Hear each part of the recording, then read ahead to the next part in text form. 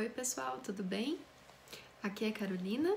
Eu eu estou terminando o meu curso do Celta hoje, né? Hoje fazem, hoje eu concluo o meu curso do Celta e eu resolvi gravar esse vídeo para passar para vocês algumas informações sobre esse curso, né? Que às vezes é meio difícil uh, a gente conseguir assim as informações através de um vídeo explicativo, né? Eu mesmo tive essa dificuldade. Então, eu fiz aqui algumas notas, né, das coisas que eu gostaria de passar assim para vocês para ficar mais fácil para ver, é, para eu passar para vocês quem tem interesse, né, em fazer o curso, né, que é, eu vou passar assim alguns uns passo a passos que a gente faz para poder entrar, é, o que ele vai fazer, né, que, o que que abrange, quanto custa e assim por diante, né.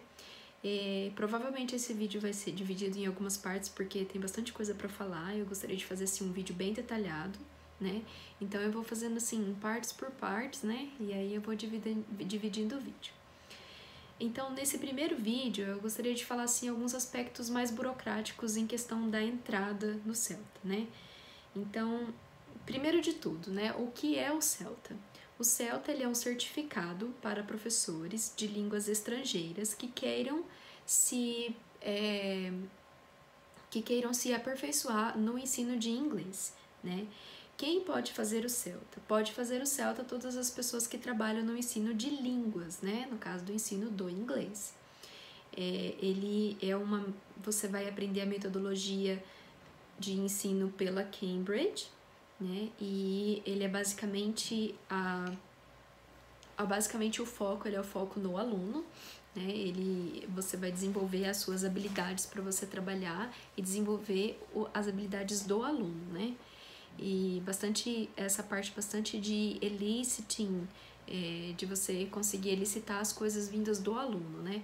Muito diferente do nosso tipo de ensino tradicional que a gente tem, que é aquele ensino que o professor está falando ali toda hora, né?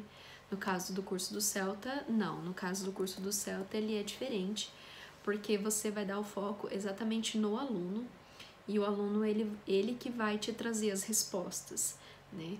Muitas, lógico que você vai ensinar, né? Mas você vai provocar esse conhecimento do aluno o máximo que você pode, né? Isso são algumas das, das metodologias que a gente usa e também é, a metodologia que, é, que a metodologia também que a Cambridge ela ela desenvolve, né? Então você vai ter os seus tutores que você que vai te auxiliar a isso, né?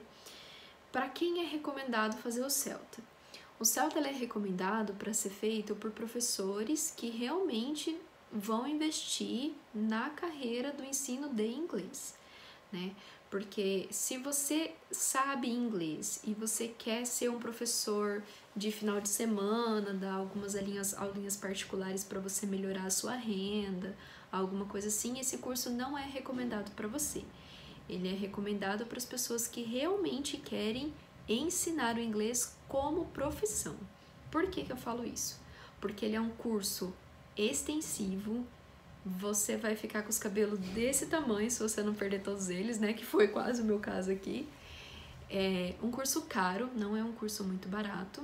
E ele realmente é um curso que você vai é, usar ele assim para sua vida, né? Você não vai, você não vai, é, não tem esse, essa, essa questão mesmo de você continuar é, fazendo esse curso simplesmente por fazer, né?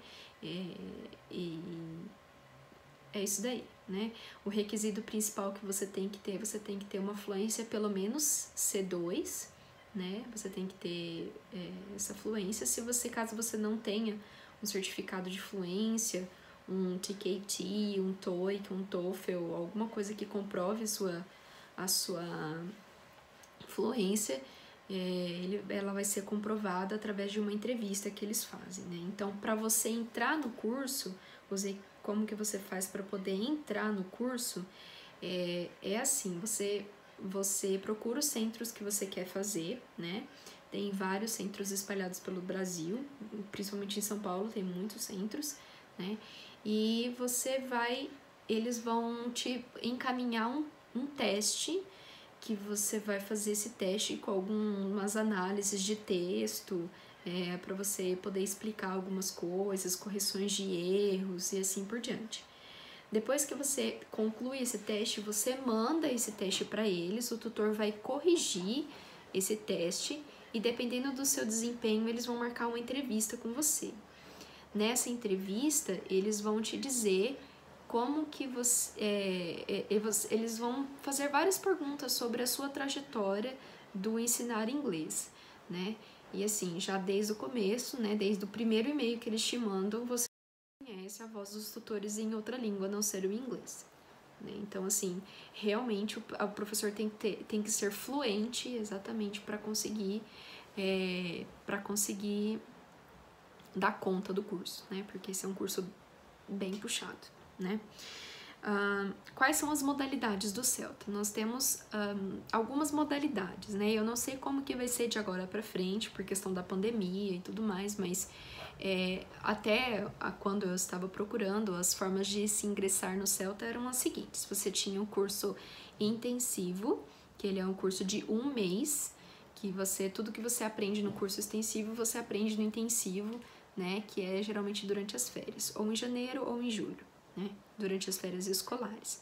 Para você conseguir fazer esse curso, você vai fazer, passar pelos mesmos processos, você precisa fazer todas as mesmas tarefas, só que você faz dentro de um mês, que é loucura, né? E aí tem a segunda, tem a segunda opção, que é a opção de você fazer esse curso à distância, através de uma plataforma Moodle, que eh, também vão, vão ter as units que você vai precisando cumprir, fazendo as tarefas, assistindo os vídeos e tudo mais.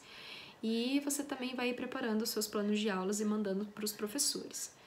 Né? Eu já vou falar dos planos de aula porque essa que é a parte mais assim, né, puxada do curso.